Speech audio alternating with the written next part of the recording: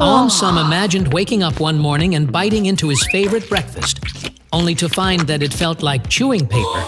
No sweetness, no saltiness, no flavor at all. Just texture. Every bite of food became boring and confusing.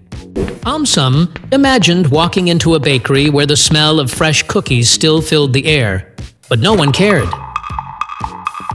Rows of cakes, donuts, and muffins sat untouched. Ice cream shops were empty, and no one argued about their favorite flavors anymore. Everyone just picked food based on color or shape. He also thought about how people would start making strange choices. Since they couldn't taste, they might not care about what they were eating. Some might eat too much. Others might eat too little, because food didn't seem exciting anymore.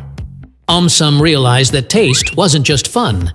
It helped people know when something was fresh, spoiled, or even dangerous.